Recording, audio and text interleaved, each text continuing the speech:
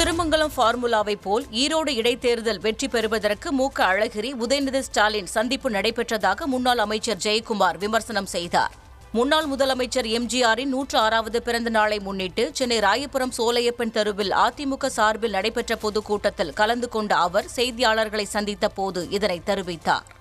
என்ன திருமங்கலம் ஃபார்முலா மாதிரி அவர் ஏற்கனவே திருமங்கலத்தில் அவர் வந்து ஃபார்முலா ஒன்று நடப்பினார். அந்த யோசனை கேட்க போயிருப்பார் அவர். எப்படி வந்து கள்ள ஓட்டு போடுறது எப்படி வாக்காளர் துட்டு கொடுக்குறது? எப்படி ஜனநாயக படுகொலை செய்கிறது எப்படி வந்து எதிர்கட்சிகளை எதிர்க்கட்சிகளை வந்து காவல்துறை விட்டு ஜனநாயக கடமையை ஆற்ற விடாமல் செய்யுது இந்த மாதிரி நாலஞ்சு விஷயங்களை வந்து அவர் டிஸ்கஸ் பண்ணியிருக்காரு. வேற என்ன நாடு நடப்பு போய் டிஸ்கஸ் பண்ணியிருக்க போகிறாங்க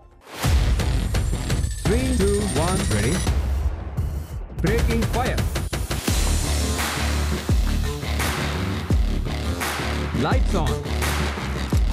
Camera ready. தமிழ்ச் செய்திகளின் புதிய அடையாளம்.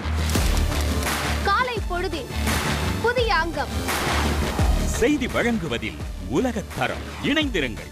காலை ஆறு மணியிலிருந்து உங்கள் நியூஸ் தமிழோடு.